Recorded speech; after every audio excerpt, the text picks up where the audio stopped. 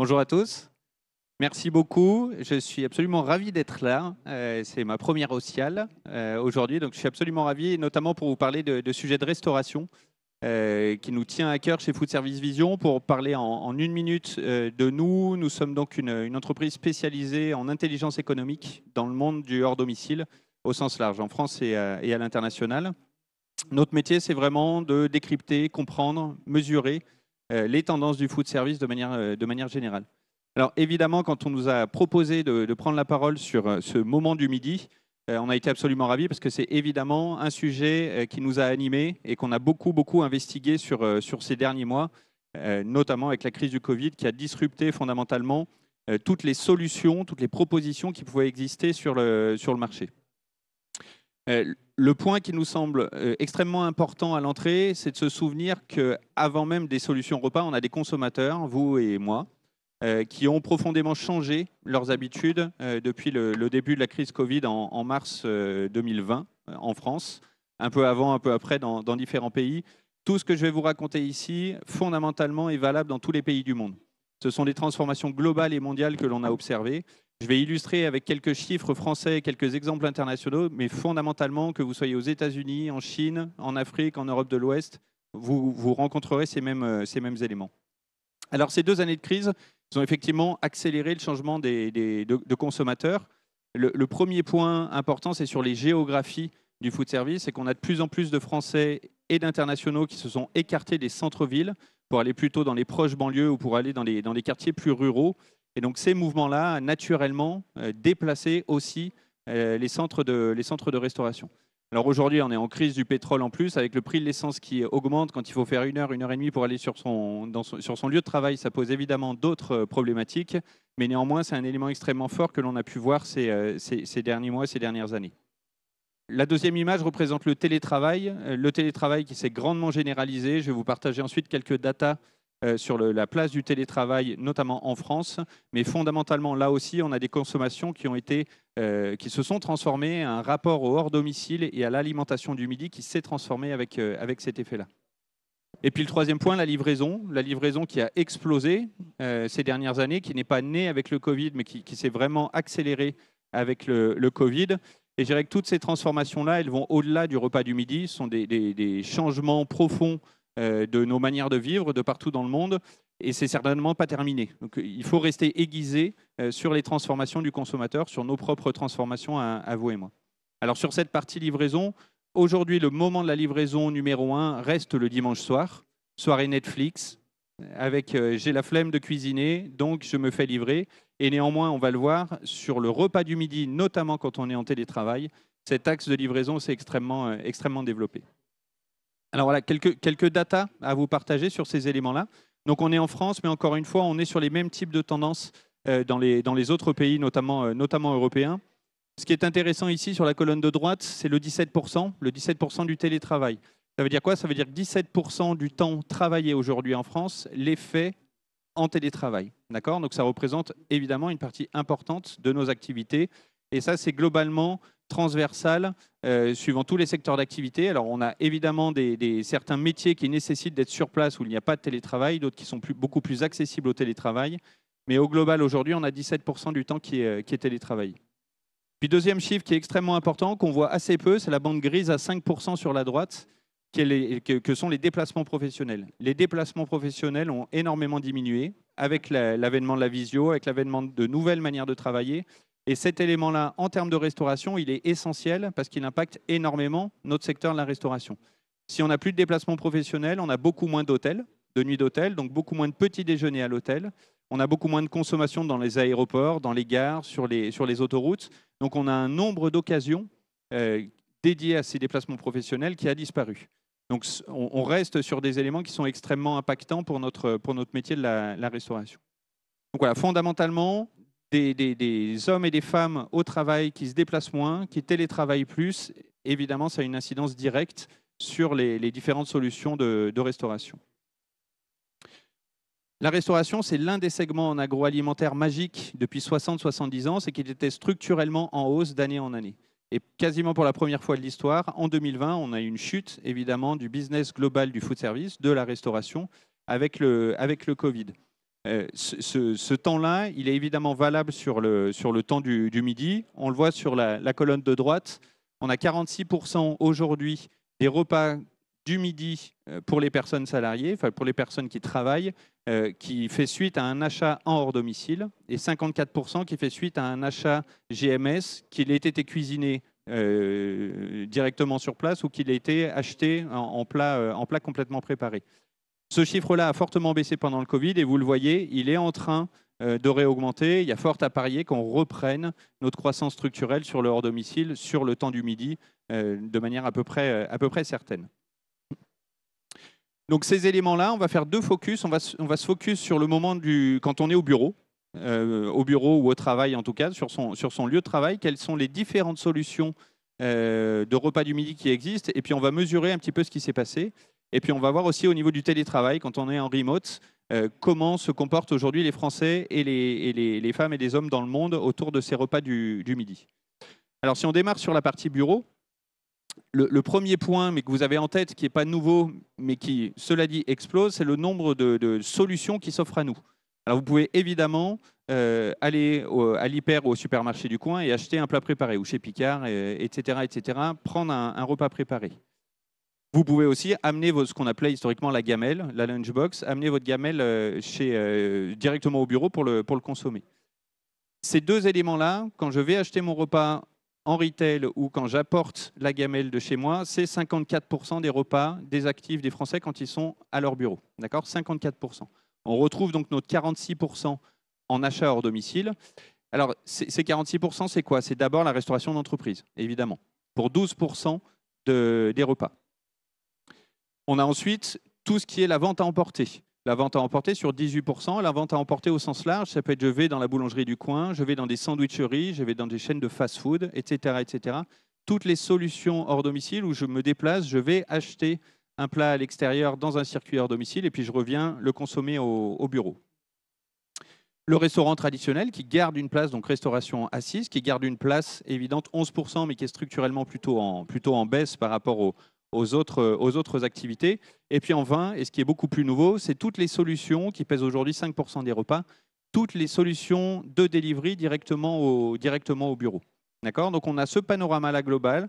On a un peu plus d'un repas sur deux qui vient euh, du retail, soit qui a été cuisiné, soit acheté en préparé, et puis on retrouve nos 46%. Ce qui est majeur comme transformation, et c'est là-dessus où on va s'arrêter, c'est ce qui se passe en BNI. Pourquoi? Parce qu'en BNI, donc en restauration d'entreprise, les modèles traditionnels de restauration d'entreprise, les cantines d'entreprise, sont encore aujourd'hui à moins 30% par rapport à leur chiffre 2019. On est sur un segment qui est encore en souffrance, euh, qui était déjà en perte de vitesse en réalité avant la crise du Covid, et, la crise du Covid a accéléré ces éléments-là. Donc on a obligatoirement euh, des nécessités de changer les modèles, de réadapter les offres euh, sur ces dimensions-là de la cantine d'entreprise sur le, sur le lieu de, travail. Pour information, hein, c'est le chiffre qui est sur la droite, le total de la restauration collective en France est à moins 7%, donc la restauration d'entreprise à moins 30% par rapport à ces, euh, à ces moins 7%. Alors ce qui est super intéressant sur ces éléments-là, c'est évidemment l'apparition de toutes ces nouvelles solutions euh, connectées, tout, ce qui sont, tout ce que sont les frigos connectés qui explosent aujourd'hui dans les, dans les nouvelles solutions de, de, repas. On a noté ici Pop Chef, euh, Bulk, par exemple, qui sont deux acteurs qui proposent des solutions de frigo connectées. Donc concrètement, hein, vous venez euh, dans votre entreprise, vous avez un frigo, vous commandez en QR code ou directement sur l'appli, vous récupérez le plat très généralement frais, de bonne qualité, vous le faites chauffer dans une solution type micro-ondes qui est à côté et vous pouvez déguster votre plat euh, aujourd'hui dans votre entreprise. Notez bien, ayez en tête que euh, depuis un peu plus de deux ans maintenant, il n'y a plus d'interdiction pour les entreprises de proposer aux salariés de manger à leur bureau. C'était le cas avant, ça n'est plus le cas aujourd'hui. Donc les salariés peuvent librement, entre guillemets, manger au bureau. Ça se faisait évidemment avant, euh, mais c'était interdit par la loi. En tout cas, les entreprises ne pouvaient pas proposer de solutions qui permettent à leurs salariés de pouvoir consommer au bureau. Euh, Ce n'est plus le cas maintenant.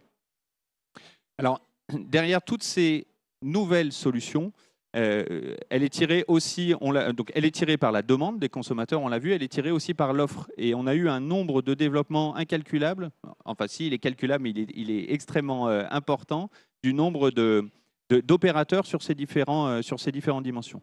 Donc on a une chaîne historique qui s'appelle Class Croûte, qui proposait en France, en tout cas, qui proposait euh, des plateaux repas en entreprise. On a toujours Class Croûte, on a Compass, on a Elior, etc., etc., qui proposent euh, des solutions digitalisées maintenant qui correspondent à ce que l'on vient de dire, notamment de, de frigo connecté.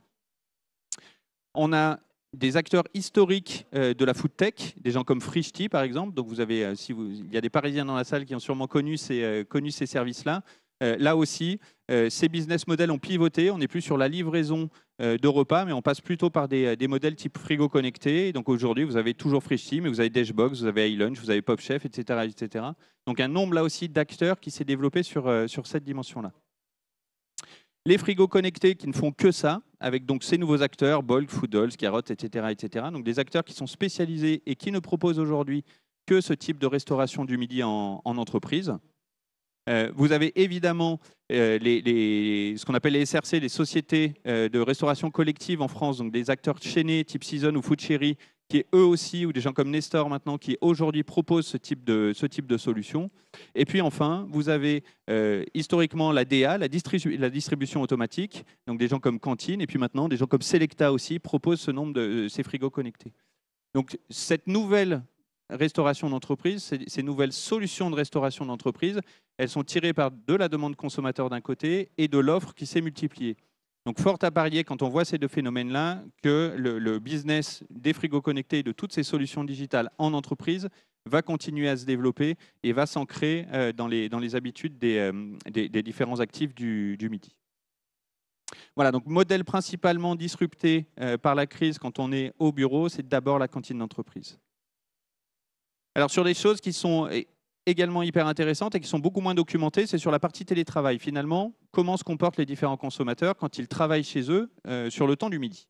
Alors, je le rappelle, 17% hein, du temps euh, qui est travaillé aujourd'hui est télétravaillé, est en remote total. Donc on a euh, quasiment un repas sur cinq qui est en situation de télétravail en, en France.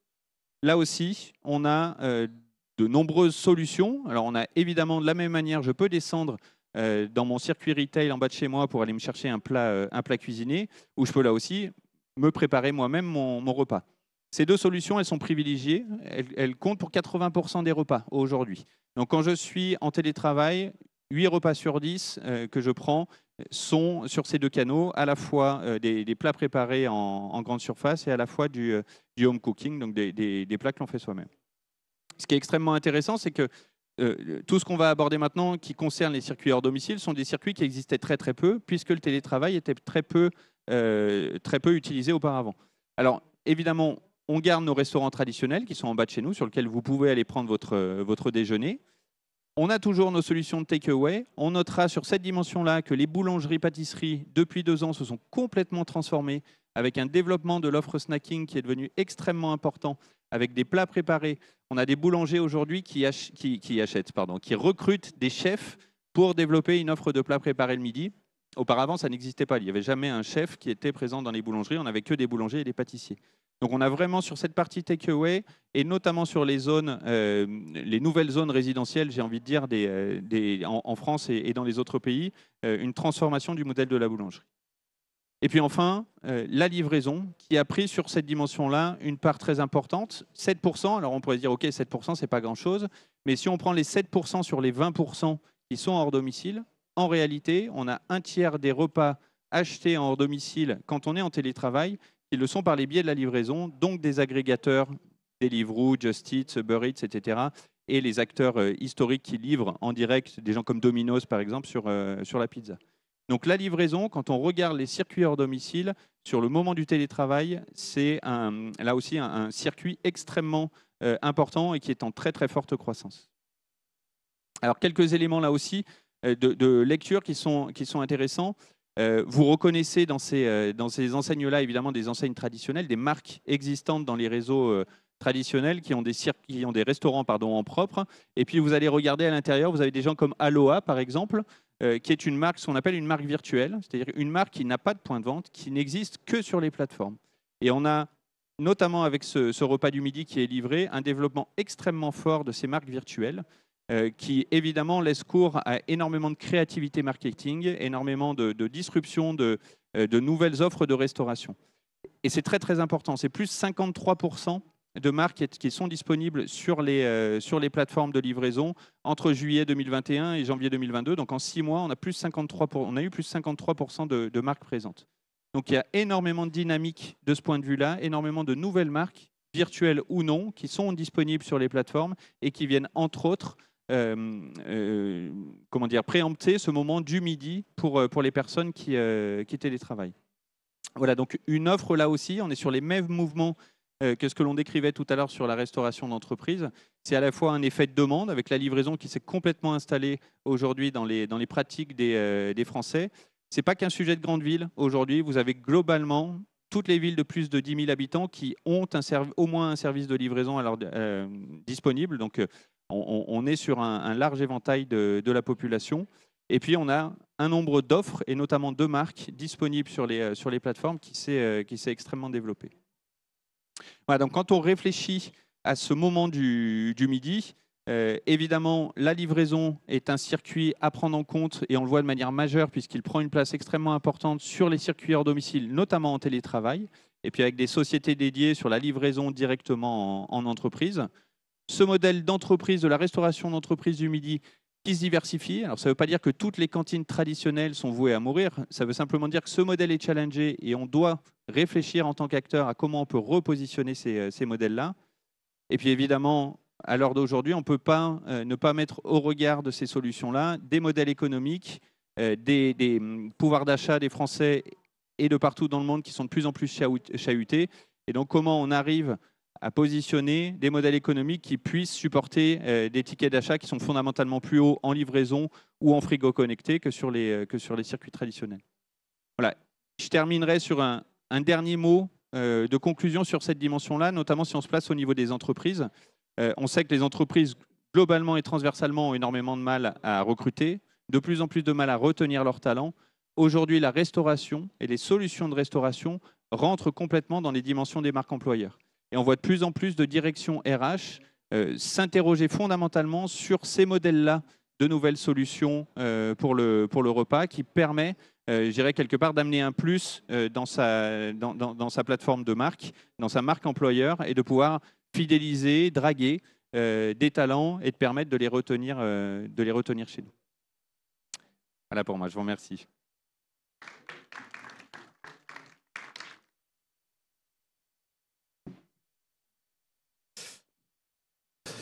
We've actually got a couple of minutes. Got a couple of minutes. So if you'd like to, perhaps this is the chance for, for you, the audience, if you have a question, you'd like to challenge um, what you just heard, or you want to say something else.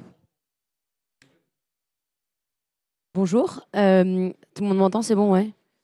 Euh, vous parliez des 30% de recul des, de la, des collectivités en entreprise euh, sur un total de 7% sur les collectivités. Cette décroissance, elle est drivée à 100% par la collectivité d'entreprise, et c'est ce qui nous amène au moins 7. Est-ce que du coup, les autres collectivités sont, elles, en croissance? Est-ce qu'on peut juste avoir un petit insight sur, sur le reste? Merci. Oui, euh, effectivement, c'est, on, mesure chez Food Service Vision euh, tous les types de restauration, les évolutions, tous les, types de restauration collective. La restauration collective au global est à moins 7. Et effectivement, c'est, vraiment la restauration d'entreprise qui pénalise, j'ai envie de dire, la restauration collective au, global. Néanmoins, euh, de manière générale, on n'est pas aujourd'hui en restauration collective au-dessus de 2019, alors qu'on l'est en restauration commerciale et on l'est en boulangerie-pâtisserie. Alors ce moins 30, attention, il est aussi en chiffre d'affaires. Le moins 7, il est en chiffre d'affaires. Donc l'effet inflation euh, tendrait à dire qu'en volume, on est même normalement en dessous des, en dessous des moins 30. Euh, si, j'ouvre un tout petit peu pour répondre à votre, à votre question, fondamentalement, on a aujourd'hui un petit peu moins de repas en restauration collective en santé et notamment sur le personnel hospitalier qui lui aussi a changé ses manières de faire sur le midi et qui prend moins le temps d'aller au self pour le personnel hospitalier et qui fait appel à ce type de, solution, par exemple. On a une restauration scolaire qui est quasiment revenue au niveau de, 2019. Et enfin, on a une restauration sociale qui a été un peu chamboulée, notamment avec les, quelques scandales qu'il y a eu, Orpea, etc., donc, euh, où on a eu un recul un petit peu du nombre de résidents dans les maisons de retraite, mais qui reprend une tendance à la hausse. Donc oui, pour répondre à votre question, le, moins 30 et le moins 7 pardon, est essentiellement dû à la restauration d'entreprise. Et pour autant, les autres segments de la restauration, de, la restauration collective n'ont pas forcément repris leur niveau de 2019. Il y a un seul, euh, seul contre-exemple qui est la restauration de loisirs, euh, donc tout ce qui est centre aéré, etc., qui a évidemment souffert pendant la crise, mais qui pendant cet été était à plus 11%. Euh, donc qui a, a très très bien repris depuis le mois de mai de cette année.